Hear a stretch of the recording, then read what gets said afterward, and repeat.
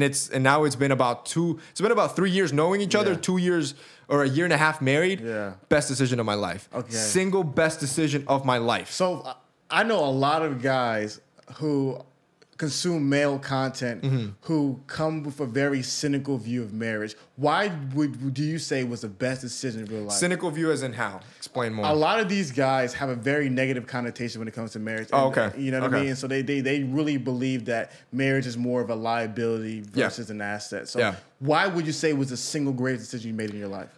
Um, she's.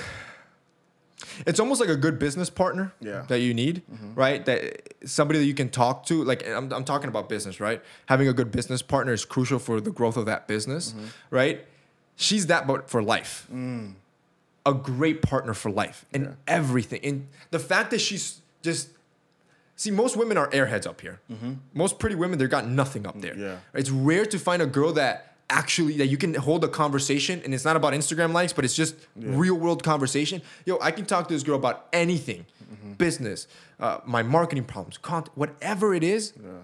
Yo, she she bounces back great ideas. Yeah. She makes me a better version. She motivates me to become better. And the crazy part is that she is hungry too. And this is crucial. You need to be matched because most marriages are comfort. I'm getting married because this is just who I've been with for the longest. Yeah.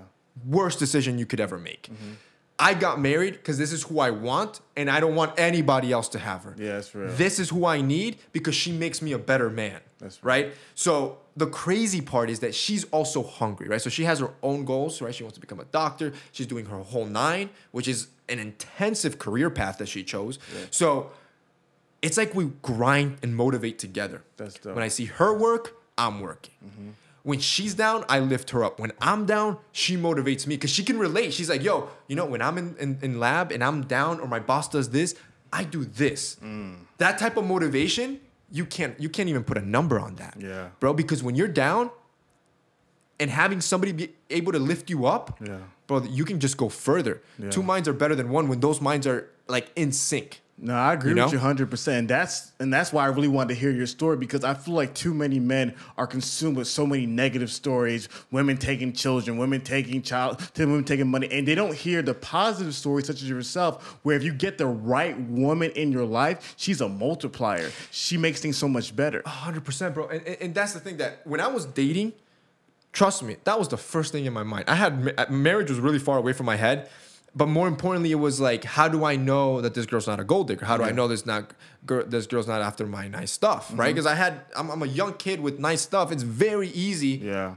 to get any girl to like notice you, but I don't want any girl. Yeah. And that's the thing that I'm so focused in my business and scaling and just growing. Like that is my passion. Yeah. After my family, like before I had my family, Monday through Sunday I'm working.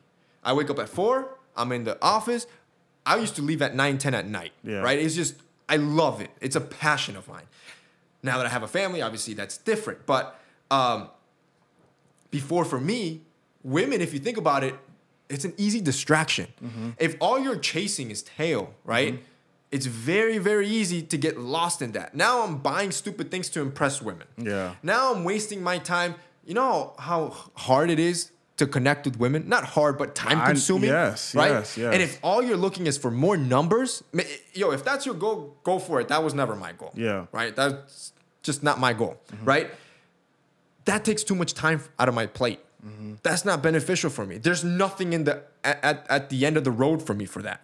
It's to me empty vanity. That's what it is for me. Mm-hmm. That's real. right. But that's just my mindset. Yeah. I, I'm not saying every dude's gonna be like that. Yeah. O- o- Other dudes have other priorities. My Yeah. priorities were different. My priorities were I'm scaling my business as far as I can take it. yeah. Right. I need a partner in my life. No, that's real, and I think, and that's a part where it's like, I wi- I love your story. That's why, guys, make sure if you haven't followed, make sure you're following right now. But like, Thank so you, many man. dudes need to hear that. You know what I mean? They need they need to understand because they like like I said, too many people have the negative stories. Yeah. and they don't have the positive Yeah. stories. And like you said, when you're a man and you're really successful, they're like. We all can love the Dan Bilzerians, think that's cool and funny and all that Don't stuff. even get me started on Dan, bro. You know, people can love There's the, nothing the, there, bro. but end of the day, when we're talking about like at, at 55, Mm-hmm. I always tell people reverse engineer your life. At 55, you know, who do you want to be? what do you want people to say about you and who do you want by your side? Yes. There's not that many men, if they're being honest, who at 55 just want a bunch of vain girls by their side who have no substance and no value. Bro, they bring no value to your life. It's it's a liability, not an asset on your balance sheet. Exactly. If you look at your life like a balance sheet, when you have a bunch of girls that have no value other than sex, they still want money. You got to take them out on dates. You got to buy them nice things, mm-hmm. right? That's a that's a liability. Yeah. My wife is an a- she is the asset. Yeah, that's right. real. That that builds me up. Yeah. Yo, when I come home, I come home to a home where I see my wife and my child. Yeah. That motivates me to keep pushing. Yeah. Right? Coming home to a girl that I don't even know just because I wanted to bag her. Yeah. That won't motivate me. Yeah. It gets it'll motivate you the first three, four, maybe five times. Yeah. After a while, you're just it's just emotion. I tell men all the time, one of the best books I've ever read was Millionaire Next Door, which Mm-hmm. talk about the lives of millionaire. There's a reason why 90% of millionaires aren't married. Yeah. There's a reason why, and like you said, the best benefit in a man's life is having that great woman. And like I said, and we and we see it. 100%. You're 25, 100%. and like you're like the golden standard brother. Thank for you. for man, in my opinion, Yeah. masculinity in the modern era. And so 100%. it's like, and I feel like too many young men need to hear more stories like yours. And, and and the reality is you got to go back to nature too, right? Like our biological nature. A lot of men will be like, "All right, why can't you just live with her? You don't have to get married. Just live with her." And then when you get bored in 8 years, you can swap. You're you're not tied down Yeah. to that commitment. We take God away, take everything away. At the at the base core as as as animals, our goal is the transferring of DNA. Yeah. That is our goal as a species. You ask any evolutionist, that is, in other words, your goal is for the survival of our human species and for your DNA to be transferred down. That is the goal. Yeah. At, at, at the core. Um, if you're, to me, reproducing and seeing a child is motivating. Yeah. But it, I, I feel like it feeds your, I don't want to say your animal instinct, but your, your natural biology. Yeah. It is our natural biology to reproduce and see your blood, Yeah. see your offspring, right? And I can't see myself reproducing with a baby mama, right?